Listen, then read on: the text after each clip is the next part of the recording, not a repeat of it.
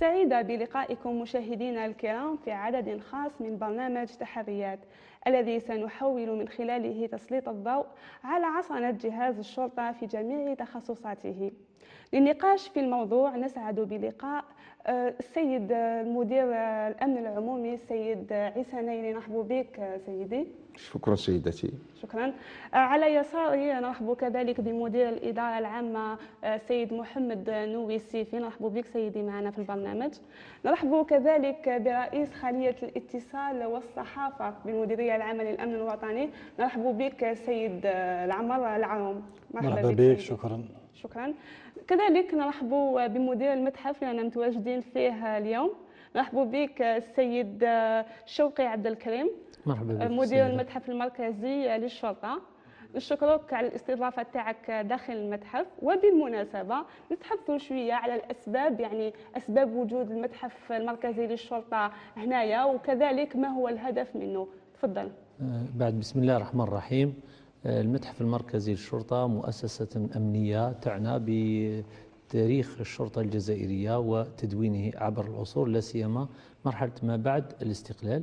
ظهرت هذه المؤسسة بالضبط يوم 17 جويلية 2010 2001 آه، وهي تعنى بتاريخ الشرطة الجزائرية. وما الإنتاج أو التاريخ الذي يقوم به زملائنا في الميدان.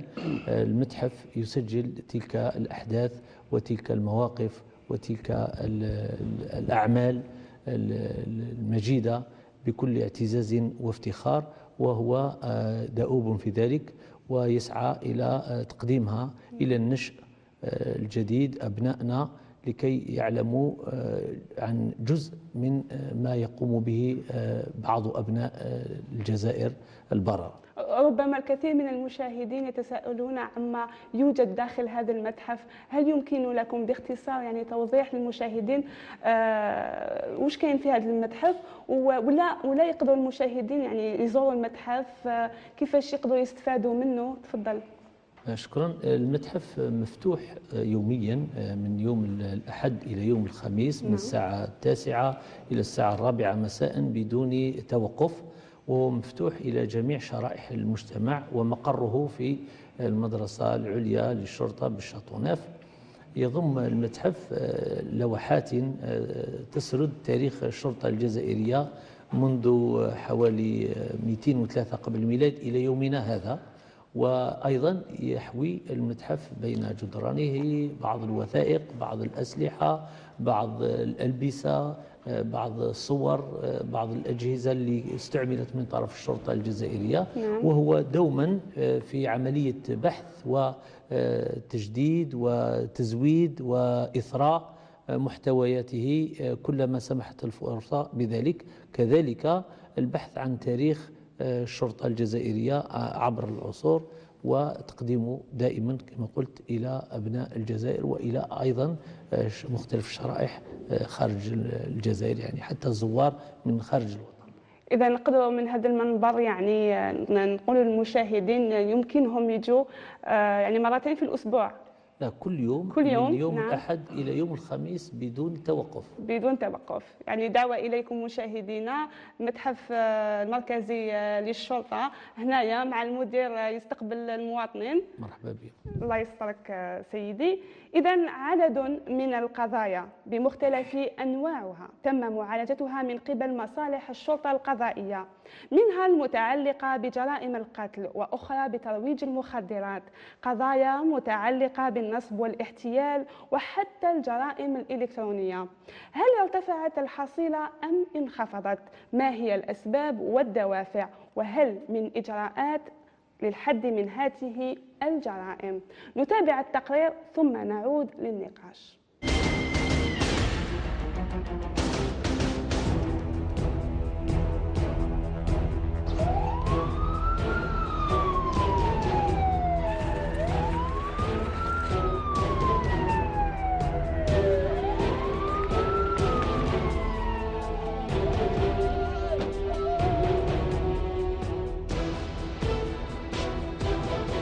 عرفت سنة 2016 انتشارا رهيبا للعديد من المشاهد الإجرامية التي راح ضحيتها أشخاص من مختلف الفئات العمرية.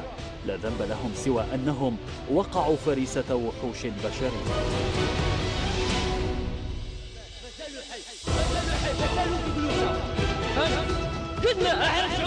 جيب لي ألف كيما هذا اللي قتلو ما راحش ما راحش تبقى ناري أنا. ما راحش تطفى فهمت؟ فهمت؟ صح الحمد لله. مانيش حاب واحد آخر. كيما هو زيد يغدروا به الناس هادو واحد آخرين. انتشار الفساد في البقعة هذه تاع الباطوار بزاف. راهم ساكنين عندنا هنا ولاو أكثر من الجزائريين من الشيطان الرجيم. شوف هاد الأفارقة يدوروا لهنا يبيعوا الكوكايين يبيعوا المخدرات يبيعوا كلش ولاو راهم في ديارهم راقدين نطلب القصص. قصص ما يكفيش. ماذا بيا أنا اللي نفذ القصص أنا اللي ماذا بيا؟ تفشي ظاهرة الإجرام في الجزائر دفعت بالجهات الأمنية للبلاد لدق ناقوس الخطر واتخاذ إجراءات ردعية لمن تسول له نفسه التعدي على حرمة وحقوق الآخرين. والأكيد أن المصالح الأمنية تسهر دوما على القضاء والحد على مثل هذه التصرفات الإجرامية ومعاقبة مرتكبيها.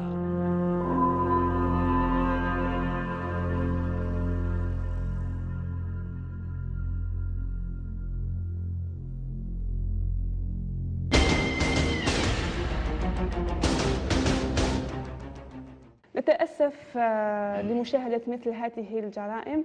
آه، سيد مدير الأمن العمومي آه، نبدأ سؤالي معك سيدي. يعني ما هي الاستراتيجية المديرية العامة للأمن الوطني لمكافحة الإجرام؟ يعني بصفة عامة بشتى أنواعه. هل المديرية العامة للأمن الوطني يعني وضعت استراتيجية لمكافحة الإجرام هذا؟ شكرا بعد بسم الله الرحمن الرحيم. بدون شك بدون هذه الاستراتيجية وبدون هذا التجنيد وبدون آه، هذا الخطط والتنسيق الكامل لما كانت الإحصاءات التي عرضتموها أو ما تكلمتم عليه آه، في مستوى آه، مرتفع جدا جدا. نحن نعلم أن المتطلبات الأمنية تجاوبت مع المدير العام الوطني من خلال وضع كل الوسائل وكل الإمكانات خاصة للقضاء على كل أشكال الإجرام والإجرام بمختلف أنواعه سواء آه، تعلق الأمر بالضرب والجرح والجنح والمخالفات البسيطة إلى تلك الجرائم المنظمة آه، والعابرة وأظن أننا آه، على مستوى المديرية العامة للأمن الوطني استطعنا أن ندحرج الإحصاءات شيئا فشيئا للوصول إلى المبتغى. هذا لا يعني أنه ما زلت قضينا على الكل ولكن نأمل أن نستمر في آه، هذه آه، الاستراتيجية وبالأخص التعاون مع المواطن لأنه هو رأس المال وهو الكفيل بمساعدة مصالحه للقضاء تدريجيا خاصة على خاصة على آفة المخدرات التي تنخر المجتمع. يعني بسبب يعني أثرة المخدرات آه، السيد عيسى نيلي. يعني هو أو سبب أو دافع يعني بدرجة الأولى يؤدي دائما إلى ارتكاب يعني جرائم قتل أو جرائم آه، يعني الاختطافات جرائم القتل. المخدرات دائما تكون آه، يعني سبب وراء هذه الجرائم. اولا يجب علينا وعلى المجتمع ككل أن يفهم أن جرائم الاختطاف وجرائم القتل عددها ليس كما يروج له آه، عرفت حل حلول قياسية. أما كل ما هو متعلق ب آه، جرائم نقدر نقول خاصة في مجال الاختطاف فيجب التأكيد والتمحص في مآلاتها وموضوعاتها بحيث ليس كل ما آه، يخفى على الأنظار لمدة 24 ساعة أو 28 آه، ساعة يعد اختطاف ويتم الترويج له نعم. ليطمئن المجتمع وليطمئن آه، المواطن من خلال إعلامكم أننا بالمرصاد لكل الجرائم ومختلف الجرائم بصفة خاصة جرائم القتل التي أستطيع القول أن نسبة النجاح فيها وفي يعني حل الغازها آه، كلها ناجحة وربما في بعض الجوانب ولكن على المستوى الوطني وعموما مصالحنا العملياتيه بفضل الوسائل والمعدات والتجهيزات وكذلك بفضل التقنيات استطعنا إلى حل الغاز كل جرائم القتل على المستوى الوطني. آه، بالحديث عن التقنيات آه، سيد المدير الإدارة العامة آه، هل سخرت مديرية المديرية العامة للأمن الوطني أو الإدارة العامة هل سخرت يعني أجهزة جديدة أو حديثة لتسهيل ربما التحقيق التحقيق على المحققين؟ بالطبع بالطبع المديرية العامة للأمن الوطني القيادة العليا وراسها السيد اللواء المدير العام للأمن الوطني الاجتهاد متواصل لتوفير كل الوسائل لتمكن الشرطي آه، لتأدية مهامه بالمرصاد. الإمكانيات هذه آه، الحديثة آه، تدخل بتدريج إلى مصالحنا. ولكن نقطة برك الاستثمار الأول مش في الإمكانيات هو في رجل الشرطة. آه، يعني آه، السيد اللواء المدير العام للأمن الوطني آه، الهدف الأول تاعه هو الإمكانيات الذهنية والإمكانيات الفكرية لرجل الشرطي. هل هناك تكوين؟ لرجل الشرطي في نعم التكوين هو الأولى. ومن بعد يجيو يجيو الأجهزة. هذه حبيت نركز على هذه النقطة لأن الشرطي اللي ما يكونش مكون تعطي له الإمكانيات ما يقدرش يستعملها. اذا الإمكانيات كاين والحمد لله الجهود متواصلة والدولة توفر الأموال اللازمة لإدراج الإمكانيات الحديثة في صفوف الأمن الوطني. نعم نعم. آه سيدي أنا نلاحظ يعني جرائم القتل الابحث ترتكب خاصة بالأحياء الشعبية. نلقاو شخصين آه كانت بيناتهم يعني تصفية حسابات. آه، فإذا بهما نلقاوهم رفدوا السلاح أبيض وارتكبوا جريمه قتل نسقسيك يعني سؤال هذا يتبادر أكيد في أذهان يعني العديد من المشاهدين. هل يعني الشرطة كيكونوا أثناء الدوريات تاعهم العادية هل يمكنهم التدخل؟ إذا كانت مهمة الشرطي أو فرق الشرطة أو دوريات الشرطة أن لا تتدخل نعم. فأي فما ما نزال لها من عمل. آه، نحن نقول أن الشرطي آه، متواجد على في المستوى الميدان العملياتي فهو يراقب آه، كل ما يجري حوله ويتدخل في كل النشاطات. في كل النشاطات. إذن أحرى به أن يتدخل لحماية الأشخاص والممتلكات. نعم أكيد. وهذه المهمة الأساسية لكل آه، آه، شرطي في الميدان بل هي التزام وواجب من واجباته أن يتدخل حتى ولو كان خارج أوقات عمله. وكل ما ترونه آه، من تعداد وتشكيلات أمنية ودوريات راجلة أو راكبة هي معنية سواء بالعمل الوقائي الردعي أو التدخل لإنفاذ القوانين قوانين الجمهورية. هناك مشروع يعني باش يزيدوا من المراكز الأمنية خاصة آه، في الأحياء الشعبية؟ آه، بالطبع السيد مدير الإدارة العامة موجود معنا وممكن آه، عنده الأرقام وكل نعم. الأرقام نتاع التوسع والتغطية الأمنية لأنه هي أيضا مرتبطة ب أمور مالية ومرتبطة أيضا أكيد. بتكوين وبوجود عناصر آه، تعنى بالعمل ضمن هذه آه، التغطية الأمنية. يعني فيما يخص التغطية الأمنية كاين يعني شرح يعني لهذه التغطية كاين التغطية الأمنية والتغطية الشرطيه. نعم. آه، التغطية الشرطيه تدخل في ميدان التغطية. الأمنية. التغطية الشرطيه هي وجود الشرطة كشريك لتسيير المدينة. والتغطية الامن هذه تكون الأمن الحضاري امن الدائره وأمن الولاية. نعم. يعني هذا التغطية الشرطية. والتغطية الأمنية نزيدوا مصالح أخرى مختصة لقمع الإجرام ومكافحه المخدرات المخدرات الجريمة المنظمة. والجريمة المنظمة. نعم. التغطية الآن آه، تخص أمن الدوائر رانا وصلنا ل 80% من الدوائر آه، في على ضرب المستوى الوطني. على المستوى نعم. الوطني. نعم. ولازم كل كل يعني مدينة ولا une agglomération تكون فيها أمن حضري. إلى أي مدى تساهم يعني ربما الوسائل اللي سخرتها الإدارة العامة لتسهيل يعني تسهيل يعني الخدمات بالنسبة للشرطة.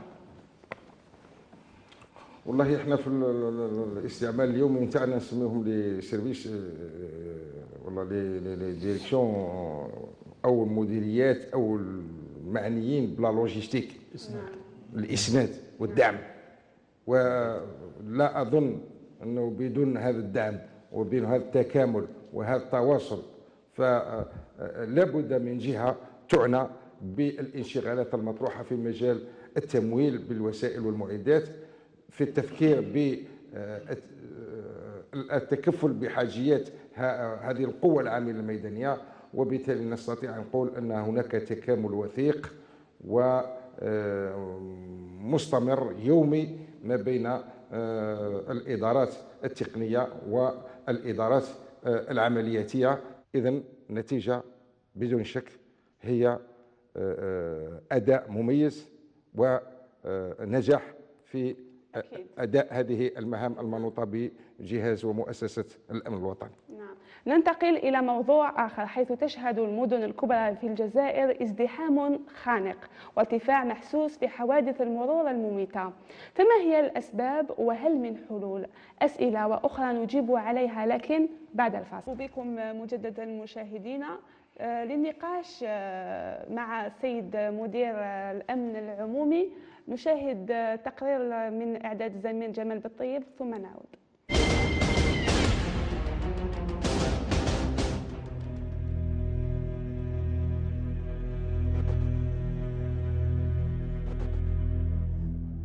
إرهاب الطرقات الموت المفاجئ تحت العجلات ازدحام خانق وعدم احترام إشارات المرور.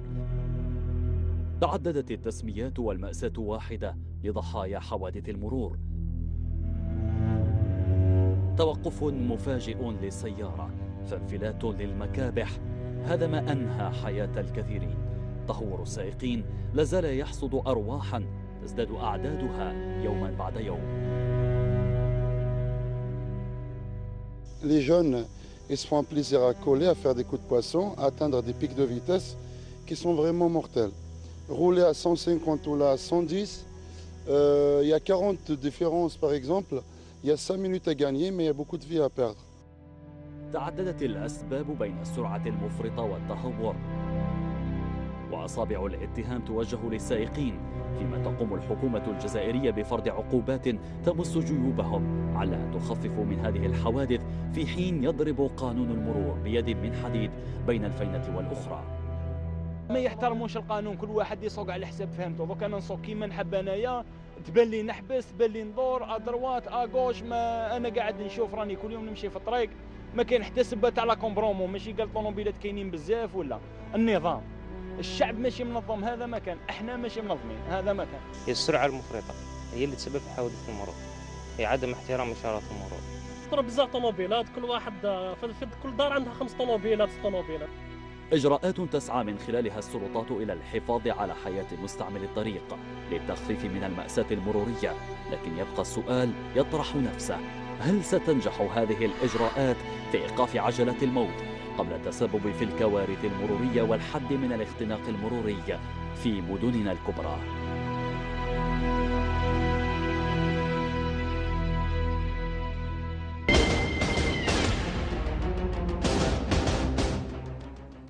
سيدي ما هو تقييمكم للمنظومة التشريعية الحالية في مجال الأمن المروري؟ شكرا على هذا السؤال الوجيه ولكن الذي يحمل حسب موضوع يعني سياسة كاملة ومتكاملة المنظومة التشريعية عرفت مراحل مواكبة لهذا التطور الإطار التشريعي الأخير تجسد من خلال القانون 01 14 والمعدل والمتمم لمرتين. هذا الإطار كان لابد أن يواكبه أيضا الإطار المؤسساتي. وأقصد هنا بالإطار المؤسساتي أي تعيين وتخصيص الهيئات النظامية التي تعنى ويوكل لها التنسيق وإحداث أو الاستجابة أيضا ووضع حيز العمل. كل البرامج أو كل السياسات أو كل الاستراتيجيات التي من شأنها توفر ملاذا آمنا في كل الحاجيات. بالنظر إلى المنظومة التشريعية الحالية نقول أننا أنها شكلت في الفترة الأخيرة الإطار أو الانشغال الأهم بالنسبة لنا كمديرية عامة للأمن الوطني. فبتوجيه من السيد اللواء المدير العام للأمن الوطني تقدمنا إلى السلطات المعنية الوصية بما فيها وزارة الداخلية ورئاسة الحكومة بعدة مقاربات أو دراسات أو بحوث آه، نعطي فيها وجهة النظر ونقترح الهيئات والآليات التي من شأنها تعزز هذا العمل. كل هذه المنظومة التشريعية إذن آه، في الوقت الحالي تقيم بأنها أدت ما عليها وهي ترسانة آه، كبيرة وواسعة جدا أدت ما عليها ولا بد من مواكبتها للتطورات الحاصلة إن على مستوى التكوين والتدريب إن على مستوى الهيئات الرسمية التي آه، تعنى بالدراسات والبحوث وحتى الإحصاء إن كذلك على مستوى التقييم الدوري لكل هذه المنظومة ولكل أداءات المصالح. ما هي يعني آخر حصيلة حوادث المرور أو يعني سحب رخص السياقة؟ والله سحب رخص السياقة بالنسبة لنا حنايا هي أو تسجيل المخالفات المرورية ضد المخالفين. يعني إحنا بالنسبة لنا وفي التوجيهات آه، القيادة أننا دائما آه، نتوخى من مستعملي الطريق الالتزام بقواعد السلامة المرورية. هذا هو الهدف الكبير وهذا في إطار عمل وقائي بحت. وسيكلفنا هذا الجانب هذا يعني جهد معتبر لكل الوحدات وكذلك باتجاه المجتمع المدني والإعلام. نعم. يعني يوميا موجودين في إطار التحسيس وفي إطار دعم المجتمع المدني وفي إطار أيضا تحسيس وتوعية مستعملي الطريق بضرورة الالتزام بقواعد السلامة المرورية. ولقد في يعني في ثلاث أشهر ثلاث أشهر الماضية لسنة 2016 فقط كعينة آه، الوحدات الإقليمية العاملة في الميدان سجلت ما يزيد عن 65 حالة سحب لمختلف الفئات فئات اثنين ثلاثة أربعة للمخالفات. إذا ربما مقابل 65 ألف هذه ربما درنا ما يزيد عن 100 آه، حالة آه، توعية وتحسيس. ربما درنا آه، أكثر من عملية توعية وتحسيس على مستوى المدارس وبالتعاون مع بالأخص الكشافة الإسلامية وكذلك بالمؤطرين على مستوى المؤسسات التربية. إذن الجهد الميداني التوعوي التحسيسي موجود وكذلك الردع موجود. الردع موجود أيضا من خلال التواجد والانتشار لعدد معتبر للدوريات الراكبة والراجلة على مستوى المناطق أرقام ضخمة سحب رخص السياقة يعني أمام كل هذه الإجراءات الردعية إلا أننا يعني نشاهد يعني بصفة يومية حوادث مرور مميتة أين الخلل؟ أنا قلت بلي لولا الانتشار ولا لولا التواجد ولولا هذا الجهد هذا ربما لكانت النتيجه يعني أكبر مما نتصور نعم. نحمد الله أننا حبسناها يعني نقدر نقول على مستوى المناطق الحضارية آه، منذ خمس سنوات ست سنوات. يعني حصرنا آه، عدد الحوادث في حوالي 700 من 700 ل 700 800 فلا أكثر. وربما زملائي في الدرك الوطني والقيادة اللي راهنا نعمل بالتنسيق في الميدان هم كذلك يقولون نفس القول. ولكن لا يمكن لنا مهما أوتينا من إمكانات ومهما أوتينا من تعداد أن نضع حدا لهذا لولا لو لم يكن هناك تعاون بدون تعاون تاع المواطن، المواطن هو في حد نفسه راه يشكل خطر المركبة تشكل خطرا على على نفسه وعلى غيره. نعم. على نفسه وعلى غيره. فعليه أن يستجيب فعليه أن يستجيب أن يستجيب للقانون أن يستجيب أيضا أن لا يكون ضحية. يعني الضحية حاليا نحن نتكلم على ربما الموتى فقط والجرحى. والجرحى. الذين لهم عاهات وتشويهات ويعني في أوضاع آه، يدنى لها الجبين. هل يمكنكم يعني توضيح للمشاهدين وتمد لنا يعني رقم من حوادث المرور في ثلاث أشهر آه، اللي اللي جازت يعني لتحسين خلال الثلاثي الأول لسنة 2016 و2000 عدد الحوادث الثلاثي كانت العدد الثلاثي الأول 2016 3796 عدد الجرحى 4398 عدد القتلى 172 أي آه، هنا عدد القتلى يعني راه ناقص ب 30 3% تقريبا. أنا قلت سبق لي وقلت باللي إحنا رانا على مستوى المناطق الحضارية والمفروض يعني السرعة تكون اللي هي العنصر الأساسي في وقوع الحوادث تكون يعني محدودة جدا. لكن رانا نلاحظ باللي فيه تقليص في عدد الحوادث أو على الأقل stagnation par rapport بالنظر إلى التعداد المعتبر للسيارات التي تدخل الخدمة. قد ترى السلطات التي منحتها يوما ما آه، حجة في آه، نزعها وهذا ما يجرني إلى القول. أن نظام الرخصة نظام الرخصة بتنقيط الذي اعلنت عنه وزارة الداخلية والجماعات المحلية في الفترة الأخيرة سيقودنا إلى آه، القول وأن النظام تاع آه، السحب الفوري لرخصة السياقة آه، اللي هو يعني كلفت به مصالح الأمن نظرا للظروف نتاع التحصيل التي كانت سائدة آه، ونظرا أيضا للاستجابة للقواعد السلامة المرورية. بالطبع نبارك ونهنئ هذا التوجه المستقبلي العصري الحديث في رخصة السياقة بالتنقيط في رخصة سياقة آه، غير قابلة أيضا للتزوير ولا للاستعمال آه، آه، الغير قانوني. كل هذا يجرنا إلى أننا بصدد بلورة استراتيجية أو سياسة وطنية جديدة في مجال الوقاية المرورية. إن شاء الله تكون ناجحة وتنقص من حوادث المرور. نأمل ذلك إن شاء الله. نأمل ذلك. مدير الإدارة العامة. سيدي أمام كل هذه التحديات اللي يقوموا بها مصالح الأمن العمومي واش قدمت لهم في المقابل الإدارة العامة هي كان الأنظمة يعني فيما يخص الإعلام الآلي اللي راهو يتعمم ويتطور في داخل مصالح الأمن الوطني. آه، الأمن العمومي الآن آه، عنده سيارات عليها نظام اللي آه، يقدر يستعملوا في مكافحة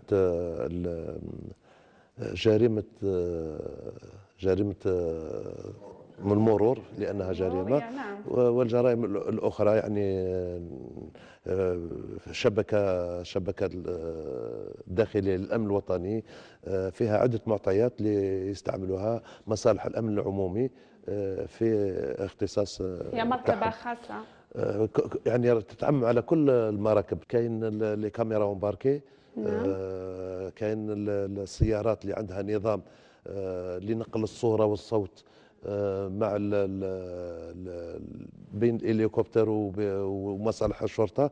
يعني أجهزة حديثة؟ أجهزة نعم. حديثة. من أحد الأجهزة كاين السيارات الجديدة ودخلت راح إن شاء الله من على شهر شهرين تكون في الخدمة.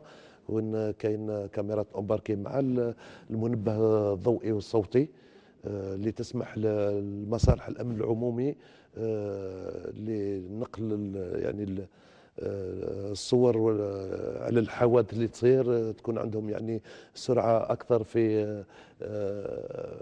في في, في التحريات يعني عدة إمكانيات جديدة وحديثة. هل يوجد مخطط للقضاء على الازدحام بالمدن الكبرى؟ يعني مخطط جديد للقضاء على هذا الازدحام بالمدن الكبرى.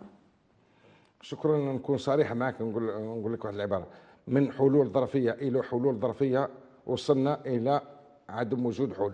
نعم. لأن الحلول الظرفية de, de solution de conjoncture. À solution de conjoncture on n'arrive plus à trouver de solution.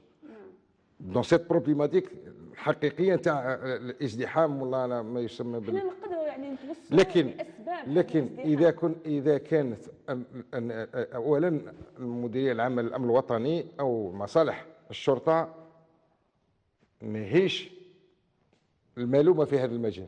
ماهيش هي اللي خلقت دي سيتي جدد بدون ما دير لهم طرق. ماهيش هي اللي أنشأت طرق لا تكفي. ماهيش هي اللي وضعت آه، هذاك. اذا اذا اذا هي ولا نقدر ندخل إحنا مسيرين إحنا مسيرين للوضع القائم. لكن لنا خبرة لنا إمكانات. كلما استشرنا كلما ساهمنا نعم. ولو في نطاق المعقول بوضع هذه الخبرة في إطار اللجنة الأمنية الولائية أو اللجنة التقنية للمرور أن نعطي آراءنا. يعني درك المدن الكبرى ما اصبحش ما اصبح يعني من المستحيل أننا نستمر في آه، آه، طريقة الديوتشي في بعض الأحيان خلاص انتهى هذا. أضيف إلى هذا هل نبقى اليوم في المدن الكبرى نتاعنا وين؟ يعني حتى الفروج إذا كان كاين آه، راه يسير بطريقة اسمح لي نقول لك بدائية. نعم. لأنه ماهوش لأنه لا لا ينسجم مع منظومة متكاملة بحيث أنه كي يشعل لي الضوء الأخضر للسائق يشعل له الضوء الأخضر للسائق. ماهوش يشعل له الضوء الأخضر والباساجي راه فايت وهو ما يقدرش يمشي. يمشي ميات متر ويولي يحبس parce que الفروج هو له قبل ما يتحرك خلاص. اذا هو عمل آه، تقني متكاملي synchronisé مش عارف تنسيق باش لما تكون تفتح لي أنا الفروج آه، راه فروج كيما يجيني feu vert راه feu vert نمشي au moins kilomètre deux kilomètres باش نحبس يعني هذا يسمي هذا ما يقدرش يكون إلا إذا من خلال مركز. كما يقولوا centre de régulation de la circulation routière nous avons présenté des solutions. Nous sommes en train d'étudier les possibilités. La faisabilité existe. C'est سيت ان روتار نو سوم با جيست جو دي كو هي ولا نقدر ندخل يعني نعم تفضل الأمن الوطني شريك وكشريك يبذل كل المجهودات لحل هذه المشاكل. وهي الأسباب عدة. يعني الأسباب عمرانية أسباب ديموغرافية أسباب يعني والأمن الوطني يعني في في فيما يخصه راه يبذل كل الجهود ل يعني لتقليص من تقليص من هذه المشاكل. وإن شاء الله مع الشركاء الأخرين الحل يكون إن شاء الله. ما كانش مشكل ما يكونش عنده حل. هل يمكنكم يعني الحديث باختصار على هذه هذا العتاد اللي تستعملوه أو يستخدموه يعني مصالح الشرطة أثناء يعني مرحلة الصيف؟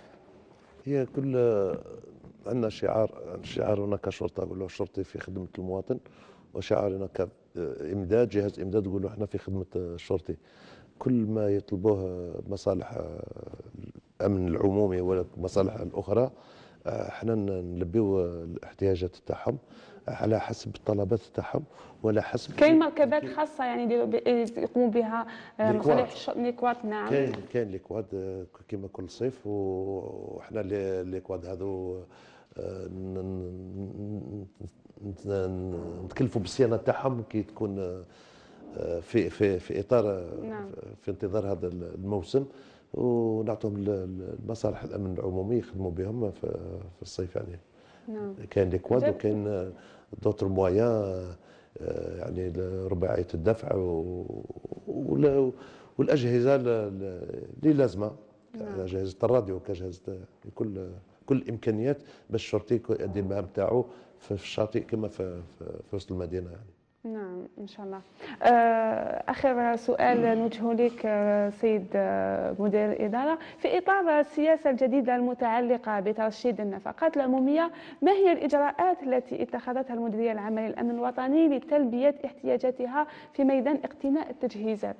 يعني خاصة اللباس. هي الاقتناء إحنا عندنا ميزانية مدروسة كل عام يعني بهذه الميزانية نقدروا نديروا تلبيو يعني احتياجات آه، فيما يخص ترشيد ترشيد النفقات العمومية هي ترجع إلى منهجية تسيير آه، الإمكانيات تاع الأمن الوطني. السيد اللواء المدير العام الوطني والقيادة العليا يعني بصفة عامة. آه، عندها هدف هو تقليص يعني خاصة في الحالة في, في في الوقت الراهن التقليص تقليص النفقات العمومية يعني بحاجات آه، بسيطة. آه، تقليص استغلال الكهرباء تقليص استغلال الطاقة تقليل استغلال آه، الوقود آه، من جهة. ويعني البحث عن عن أسلوب لترشيد أكثر لهذه النفقات. مثلا انشاء وحدات خاصة للأمن الوطني للألبسة. نعم. يعني لاحظنا لاحظنا يعني الشرطة راهم يعني عم بلباس جديد. مام لا ديكوب تاع اللبسة تبدلت مقارنة باللباس القديم. هذه داخلة في إطار يعني العصرنه وتلبية حاجيات الشرطي الشرطي دائما إحنا في الاستماع له الشرطي والشرطية وطلب منا يعني بصفة غير مباشرة باش نعطوا له لباس يعني أريح وأجمل. نعم. آه يعني نواصل نواصل يعني للتواصل مع جهاز الأمن الوطني توجد خلية للاتصال والعلاقات العامة. باختصار سيد العروم يعني رئيس خلية الاتصال بالمديرية العامة للأمن الوطني ما هو دور هذه الخلية وكيف يستفيد المواطن من خدماتها شكرا على السؤال. قبل الإجابة لابد أن آه، يعني نعطي تقديم صغير حتى يعني نبين أهمية الاتصال نعم. خاصة في المرحلة الأخيرة هذه آه، نقول بأنه منذ تولي السيد اللواء المدير العام للأمن الوطني آه، قيادة الجهاز أعطى أولوية كبيرة للاتصال لماذا؟ لأن من خلال الدراسة الأولية نهار اللي جاء كانت عنده رؤية حكيمة واستراتيجية قام أولا بتعزيز ما هو موجود نعم. لأن كان هناك يعني إنجاز ومشى إلى آه، جانب العصرنة والتحديث. اليوم يعني هذا هو الشيء الجميل آه، اللي قدمه لنا السيد اللواء آه، المدير العام للأمن الوطني. نشكره. اسمح لنا باش يكون تواصل اتصال دائم طبعا. مع خلية الاتصال اللي هي في كل مرة تتعامل معنا وتساعدنا باش يعني ننور الراي العام شكرا كذلك يعني نيابة عنه أشكركم نعم. كذلك للمجهود اللي تقوموا به فالاهتمام بالإعلام يعني بشتى آه، أنواعه سواء الصحافة المكتوبة السمع البصري الإعلام الإلكتروني يعني كل قنوات الاتصال. هذا الاتصال علاش سيد اللواء ركز عليه يعني بصفة كبيرة وفتح يعني مجال التعاون ودار خلية الاتصال كأنها فضاء. تخصصات سمع بصري. كل التخصصات نعم. كل التخصصات. الهدف هو عندكم مام مقر خاص؟ بطبيعة نعم. عندنا مقر على كل حال مقر الخلية. آه، نتكلموا على الخلية اللي حبيت نعطيك صورة يعني موجزة. هي موجودة على مستوى المديرية العامة للأمن الوطني. لها تمثيل تمثيليات آه، ومكاتب جهوية وعندها كذلك مكاتب على مستوى 48 آه، أمن ولاية نعم. هذا العمل مع الإعلام الهدف منه هو إيصال المعلومة والرسالة الأمنية إلى المواطن في أقرب الأجال وبأقل تكلفة وبكل موضوعية اليوم رانا نشوف يعني الإخوة الصحفيين الإعلاميين يتعاملوا معنا كأنهم معنا في الجهاز وإحنا نتعاملوا معهم كذلك كأننا رانا في المصالح تاعهم. المواطن أو المشاهدين يقول كيفاش أنا نقدر نوصل لهذه الخلية الاتصال وكيفاش نقدر نستفاد من يعني من خدمات ديالها. إذا كان سمحتيني نزيد لك المحور الثالث اللي يهتم به السيد اللواء. كنا تكلمنا على الاتصال المؤسساتي تكلمنا على الإعلام. هناك المحور الثالث وهو مهم وهو العلاقات العامة. نعم. جانب العلاقات العامة يؤكد عليه السيد اللواء المدير العام للأمن الوطني من خلال التعامل مع الباحثين مع الأساتذة مع المجتمع المدني وكل الفاعلين. ونحن لا ننسى حتى يعني من آه، ربما أنستهم نوائب الظهر والأحداث فكم من شخصية كرمناها آه، يعني وصلنا إليها في عمق آه، حيها أو بيتها. وهذا الناس هذو في إطار التعامل والعلاقات العامة اللي آه، تصهر عليها المديرية العامة للأمن الوطني مع المجتمع. يعني هذه ثلاث محاور كبرى. أما فيما يخص الاتصال نزيد لك نقطتين فقط. هو أن الاهتمام تاع المديرية العامة للأمن الوطني آه، تهتم بالاتصال الخارجي الممثل في ثلاث محاور وتهتم كذلك بالاتصال الداخلي الاتصال الداخلي عند السيد اللواء يعني يعطيه أهمية بالغة حتى يكون في انسجام في السياسة الاتصالية العامة للمديرية العامة للأمن الوطني. نعم. هذه. تفضل. إيه صحيح أنا فهمت السؤال تاعك مع الزميل المواطن كيفاش يتصل بمصالح الشرطة؟ خلية الاتصال. خلية الاتصال. نخدم الفرصة المواطن لازم لازم يشاركنا ولازم يعاوننا. وكان الاتصال بالموقع الإلكتروني تاع الأمن الوطني نعم. آه، فيسبوك تويتر وكابل. نعم. وعن قريب إن شاء الله نظام جديد. رقم الأخضر. رقم 1548 وإن شاء الله عن قريب نظام جديد اسمه ألو شرطة. يعني المواطن يشارك ككل يعني بكل سهولة. بكل سهولة بكل نعم. سهولة و... أنا مجرد السؤال انه نقولوا كيف يستطيع المواطن أن يتصل مع خليه الاتصال؟ جاب لي ربي طولنا معه.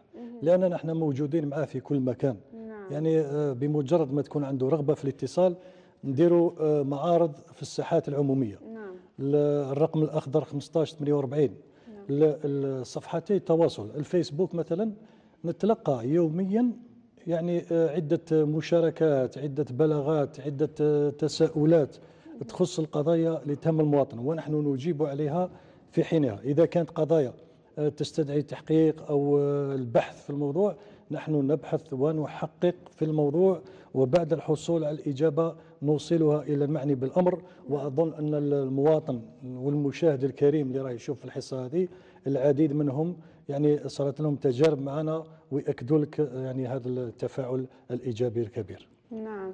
آه، قبل الختام أود يعني نسألك آه، سؤال ربما يهم الكثير من المشاهدين حول التوظيف. آه، وشنو هي شروط التوظيف؟ وشنو هي يعني مرحلة التوظيف بالمديرية العامة للأمن الوطني؟ إذا التوظيف هو محدد يعني قانونا والشروط يعني موضوعة بموجب مرسوم تاع التوظيف وكل شروط اعلان ولو الاتصال راهي موجودة في الموقع موقع المديرية العامة للأمن الوطني. وكلما تكون هناك يعني دفعة سواء فيما يخص إسلاك الشرطة نعم. آه، الملازمين أو الأعوان آه، هناك يعني إعلان يتم قبل يعني المباشرة آه، يعني المسابقة ويكون فيه يعني اعلان يكون عبر مختلف وسائل الاعلام إلى هنا وصلنا بكم مشاهدين